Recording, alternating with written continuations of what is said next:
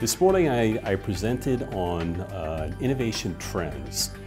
and more specifically on the drivers and the barriers to innovation in our, in our industry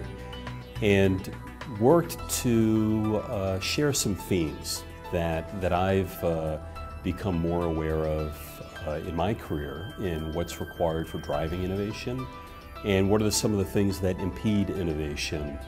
uh, within drug discovery and drug development. Um,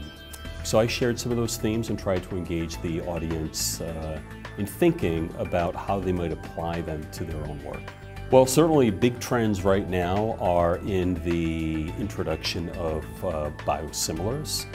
And biosimilar companies are working to uh, develop their strategies and how they're going to replicate uh, innovator molecules. With that, it's requiring a very deep investigation of the innovator molecules. And so we're seeing a lot of interesting approaches to how they're characterizing the molecules and how they are thinking about uh, reverse engineering the processes to replicate those molecules. Um, within manufacturing technologies, we have spent a lot of time talking about our established platforms that uh, have moved from stainless steel manufacturing to single use or disposable manufacturing and what the implications are of that, that move toward more disposable manufacturing on our manufacturing footprint and how we approach the development of molecules. And ultimately, I think we all see the next step in that progression is moving toward more continuous types of processing where historically, uh, with monoclonal antibodies at least, we've been focused more on batch manufacturing.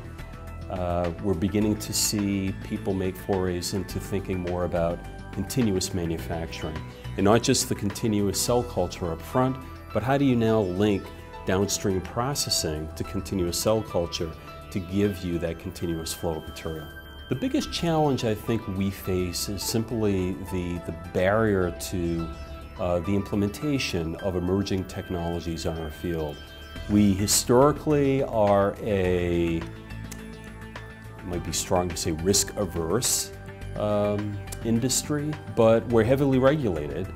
and we work with, with many peer functions within each of our companies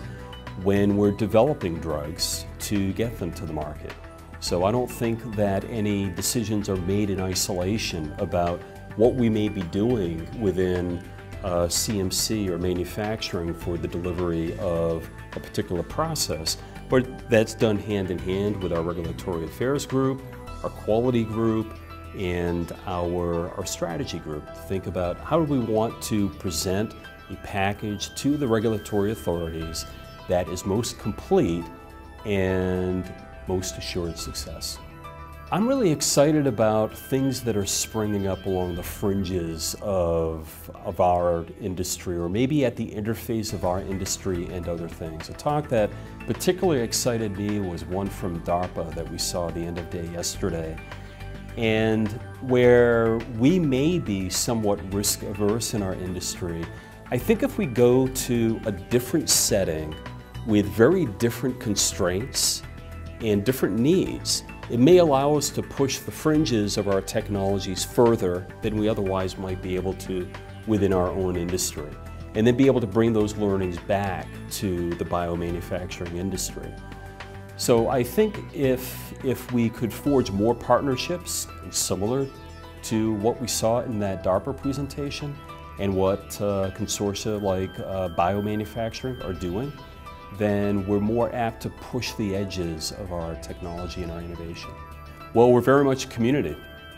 and you need opportunities to bring this community together in order to have a dialogue about what we're working on individually, what does that look like collectively, um, what are we seeing from maybe some of the more experienced people in, this, in our industry as far as trends and breakthroughs go, and to educate those who are coming up in the industry who are going to uh, be driving the new technologies of the future uh, to make those connections uh, across, you could say, generations within the industry, but also across disciplines and uh, between the innovators, um, the suppliers, and some of the others that are beginning to, uh, to come into the industry. So it's community, it's bringing the community together.